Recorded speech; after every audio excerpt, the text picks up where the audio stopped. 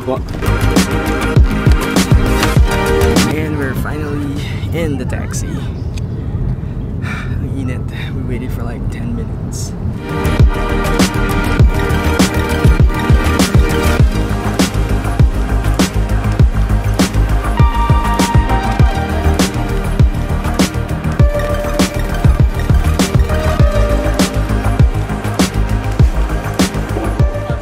That's where we're going.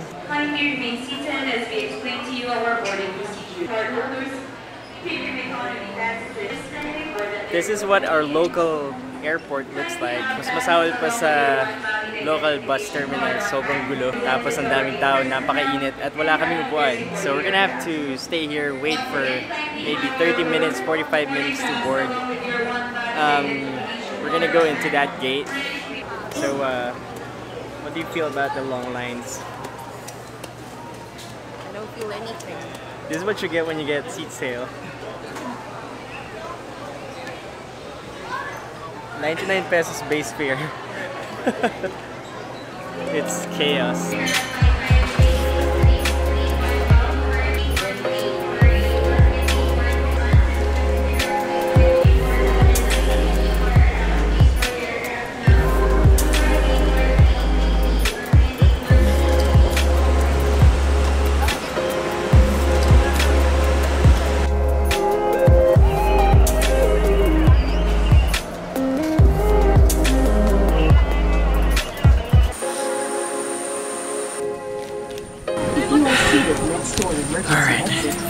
here. What's up, Drew? What's up?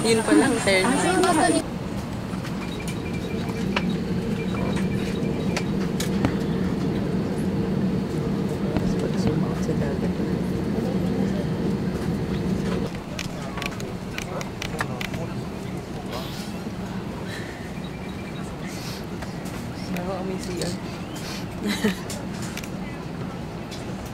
ano? Ang UCR. Parang, parang may naihi sa lapag.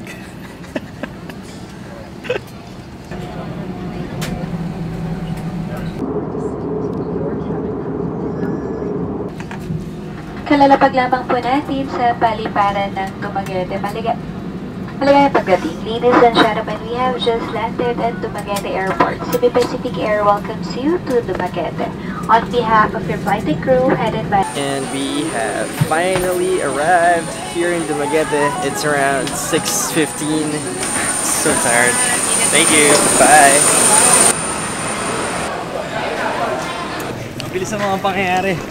Ano sasakay mo ba kami sa pinakamagandang tricycle? Ito, ito, ito. Yan ang sinasabi ko. Malaki, malaki pala tricycle dito eh. This is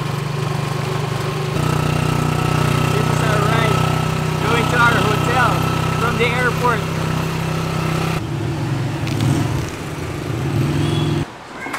We're here, finally here. Uh, ah, baron ako na ID, sir. ID? Sa double root, sir, no? Yes.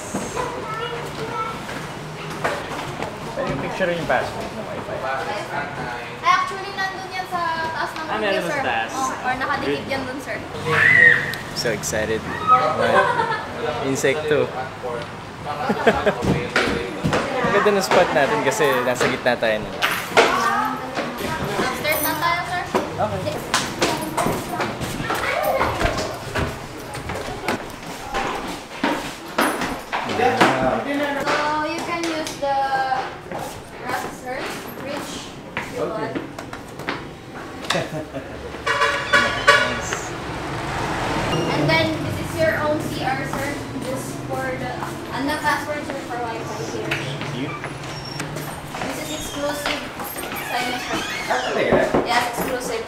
I locked this because it's your uh, sign right? Ah, nice. So, so we have a, our own key for that. Yes, sir. Nice.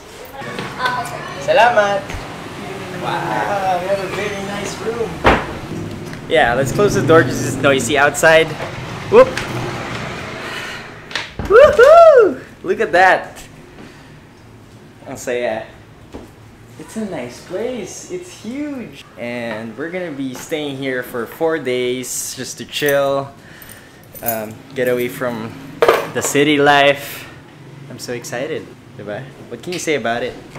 It's so nice. Tsaka uh, may CR. Yes, we made it here! Yay! It's the for you.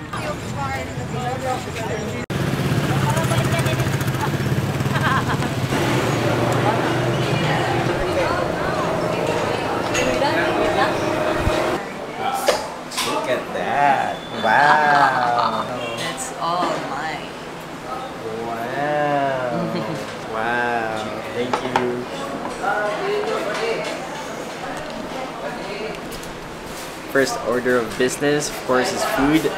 I'm so tired for tonight. It's already past 8 and I haven't eaten yet. So uh, one thing I realized here is that obviously they don't speak Tagalog here. So that's why we have to speak in English. Yung sa akin kanina kung dalawa lang kami. And I didn't understand unfortunately kasi nga it's in Ilonggo. Ano ba? That's the food. food review, uh, Joe's Inasal. It's, it's for me, it's 10 over 10. Sarap lahat. Sarap yung chicken, kahit medyo maliit siya. Uh, it's authentic inasal here in in Dumaguete. yung sinigang, sarap.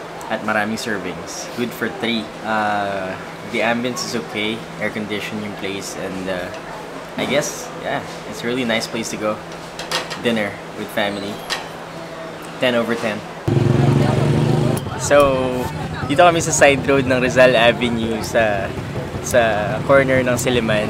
They sell tempura, turo-turo, tsaka sweet ball dito with small tables and chairs. Sobrang cute. Look at this.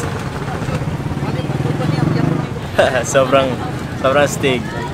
Uh, masaya dito hindi polluted kahit nasa tabi tayo ng dagat at saka tabi ng kalsada. Although ingay sa labas pero hindi siya may usok, diba? So nice.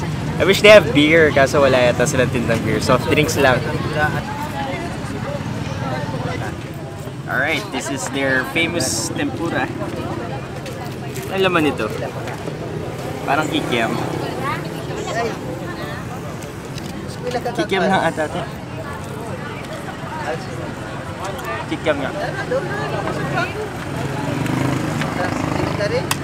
Kakaiba yung lasa.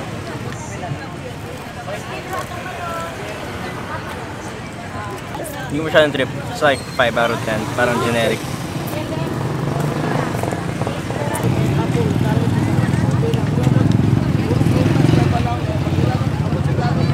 It's good. Mainit.